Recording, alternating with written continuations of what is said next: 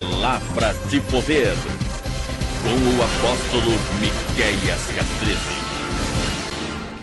Olá, Shalom de Cristo para você. Eu sou o apóstolo Miqueias Castrese e hoje nós vamos mais em um Orando a Palavra, aqui dentro do Palavra de Poder. Amém? Nós estamos liberando o poder e a revelação contida na palavra de Deus Dessa vez, no livro de Provérbios, número 21, e a palavra do Senhor diz assim: O coração do rei é como um rio, controlado pelo Senhor.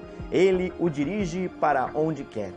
Todos os caminhos do homem, lhe, dos, do homem lhe parecem justos, mas o Senhor pesa o coração, a verdade, o íntimo do homem. Fazer o que é justo e certo é mais aceitável ao Senhor do que oferecer sacrifícios nós precisamos andar conforme aquilo que o Espírito Santo tem colocado dentro de nós, ao invés de recorrer a sacrifícios é, legalistas. A vida de pecado dos ímpios se vê no olhar orgulhoso e no coração arrogante. Olhar orgulhoso e coração arrogante revela um pecado, um pecador. Os planos bem elaborados levam a uma vida farta, mas o apressado sempre acaba na miséria. A fortuna obtida com língua mentirosa é ilusão fugir, é ilusão fugídia e armadilha mortal. A violência dos ímpios os, os arrastará, pois se recusam a agir de forma correta. O caminho do culpado é tortuoso, mas a conduta do inocente ela é reta e íntegra. Melhor é viver num canto sob o telhado do que repartir a casa com uma mulher briguenta. Mulheres, sejam sábias. O desejo do perverso é fazer o mal, e ele não tem dó nenhuma do próximo. Quando o zombador é castigado, o inexperiente obtém sabedoria. Quando o sábio recebe instrução, obtém ele conhecimento. O justo observa a casa dos ímpios e os faz cair na desgraça. Quem fecha os ouvidos ao clamor dos pobres, também clamará e não terá resposta. O presente que se faz em segredo acalma a ira, e o suborno oferecido às escuras apazigua a maior fúria. Quando se faz justiça, o justo se alegra, mas os malfeitores se apavoram. Quem se afasta do caminho da sensatez repousará na companhia dos que já morreram. Quem se entrega aos, prazeres passará necessidade. Quem se apega ao vinho e ao, e, a, e ao azeite jamais será rico.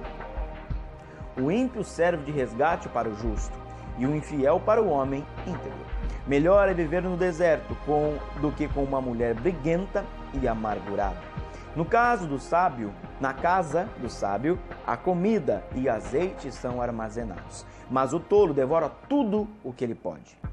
Quem segue a justiça e a lealdade encontra vida, justiça e honra. Vou repetir isso. Quem segue a justiça e a lealdade encontra vida, justiça e honra. O sábio conquista a cidade dos valentes e derruba a fortaleza que eles confiam. Quem é cuidadoso no que fala evita muito sofrimento. O vaidoso e arrogante chama-se zombador. Ele age com extremo, extremo orgulho. O preguiçoso morre de tanto desejar e de nunca pôr as mãos para trabalhar. O dia inteiro ele deseja mais e mais, enquanto o justo reparte sem cessar. O sacrifício dos ímpios já por si é detestável tanto mais quando oferecido com más intenções. A testemunha falsa perecerá, mas o testemunho do homem bem informado permanecerá. Eu vou repetir para você: a testemunha falsa perecerá, mas o testemunho, a verdade do homem bem informado permanecerá para todo sempre. O ímpio mostra no rosto a sua arrogância, mas o justo mantém em ordem o seu caminho. Não há sabedoria alguma, nem discernimento algum, nem plano algum que possa opor-se ao Senhor. Recebe essa palavra. Não há sabedoria alguma humana, não há discernimento algum humano, nem plano algum que possa opor-se a ao Deus Todo-Poderoso, ao Senhor Jeová.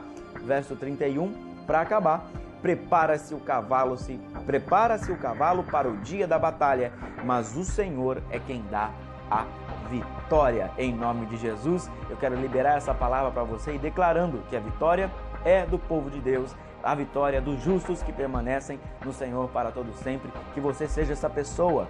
Compartilhe esse vídeo, dá like no vídeo, é, envie para sua lista do WhatsApp, no Facebook e no Instagram, em todas as suas redes sociais. Compartilhe essa palavra de liberação profética. Hoje nós lemos Provérbios de número 21.